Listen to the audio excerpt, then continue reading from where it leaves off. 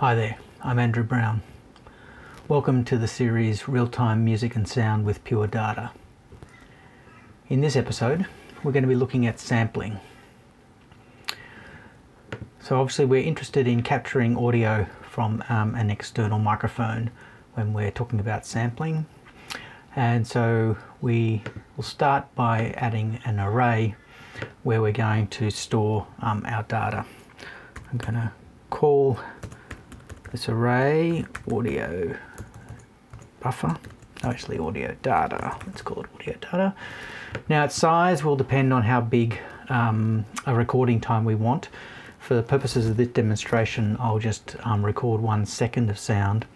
And I'm currently at um, a sample rate of 44,100 um, samples per second. So that's the size of our array so there's our array for storing our audio data.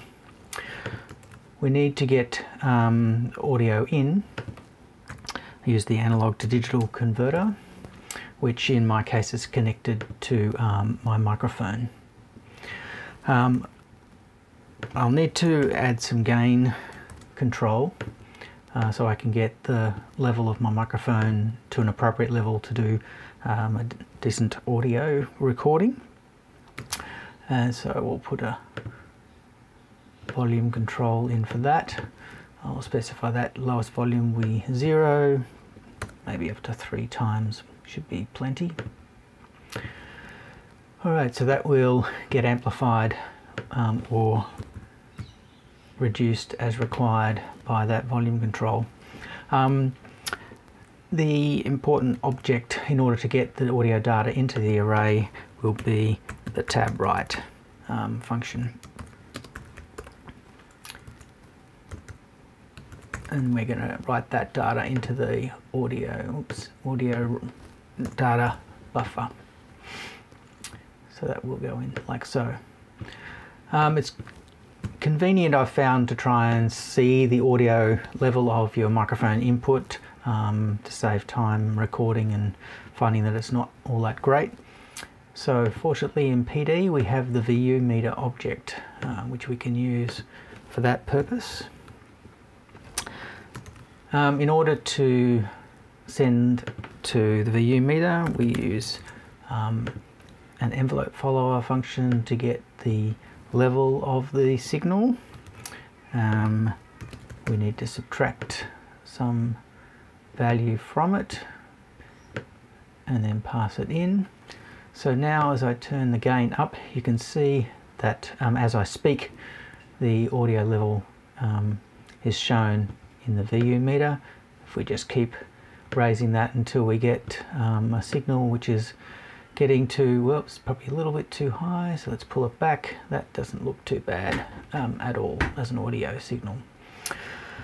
All right, so now what we need to do is provide um, sort of a record process. So the tab write can take um, messages um, to start grabbing that audio data and also to stop grabbing that audio data.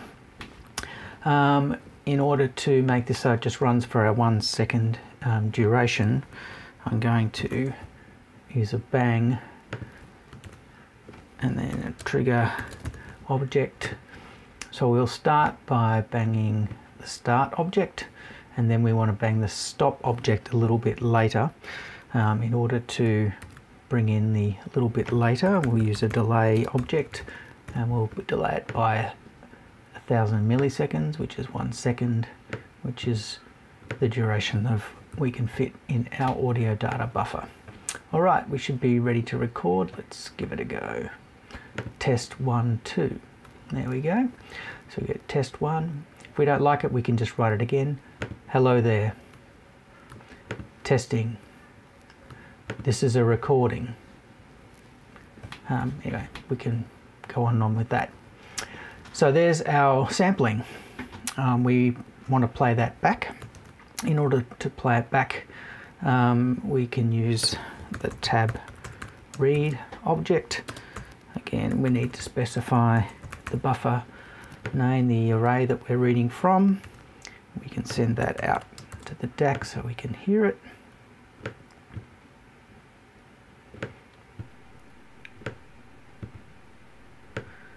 And we need to provide um, a ramp through that um, audio data from zero value to the end in order to see it.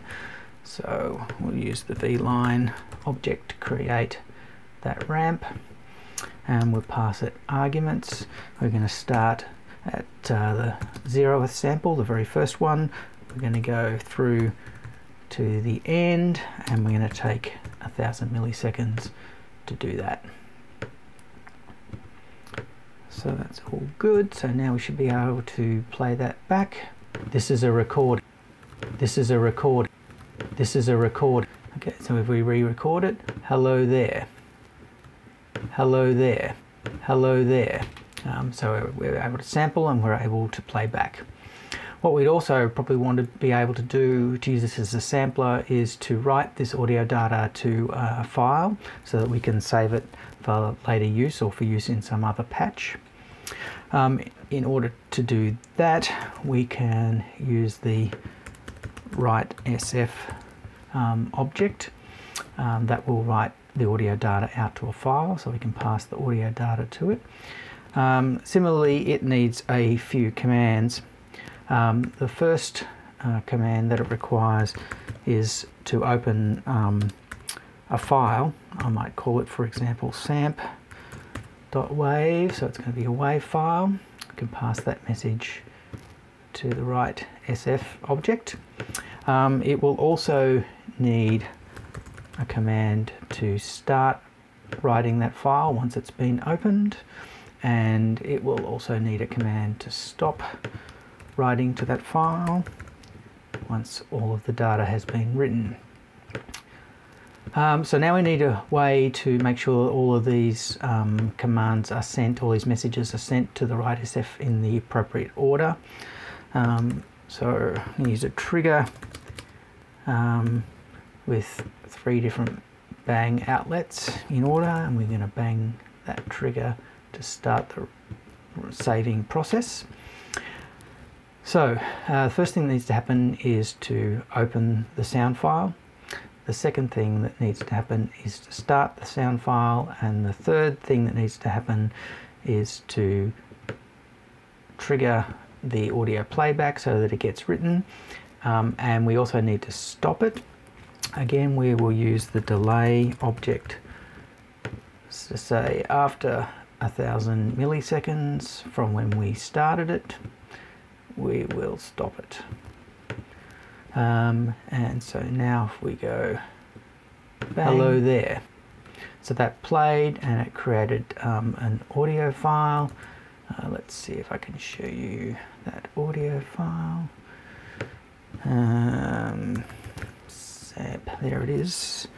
Can play it back. Hello there um, in the operating system. So there we have it. We've been able to record, sample our audio input, play it back, um, and write it out as an audio file. See you in another video.